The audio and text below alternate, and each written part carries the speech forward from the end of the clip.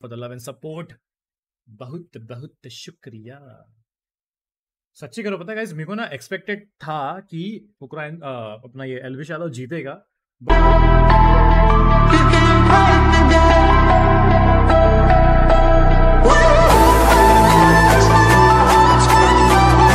But जिस हिसाब से ये निश्चय प्रगट इंसान, ये लोग जो लाइव स्ट्रीम कर रहे थे ना, और जितनी इनकी वॉचिंग आ रही थी, और जितना ये लोग वोट अपील कर रहे थे यू नो यूट्यूबर्स आ रहे थे साथ में तो मेरे को लगा था कि यार मुश्किल लग रहा है इसका लेकिन भाई जीत गया बंदा। गुड यार गुड गुड।